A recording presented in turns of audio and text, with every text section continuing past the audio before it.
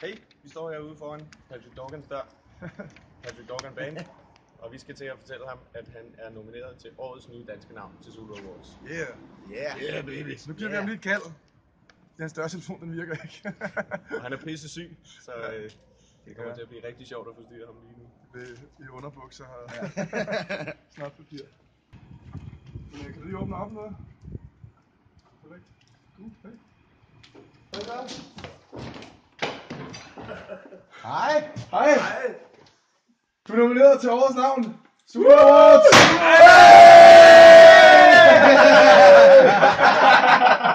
Åh, Ej, hvor er det tavle, det der. Ej, det var så, og så med det.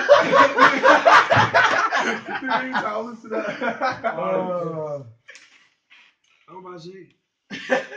Midt i sygdom. Midt i sygdom. Ej. Jamen, øh, jeg kommer aldrig til at optræde mere, men det der bliver skide godt. Det her. Tillykke, mand. Ej, hvor dejligt. Det er perfekt. Og det var godt, konen kommer hjem lige om lidt.